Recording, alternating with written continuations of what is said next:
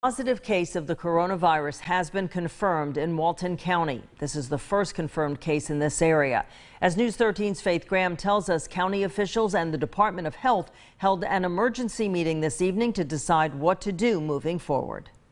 On Wednesday, Walton County officials confirmed there is a positive case of COVID 19 in the county.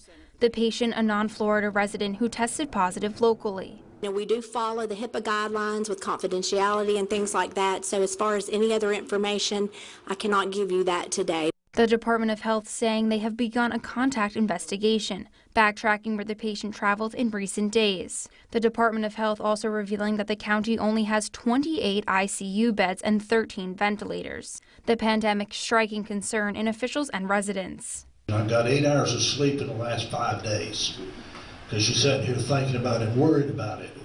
It affects so many people.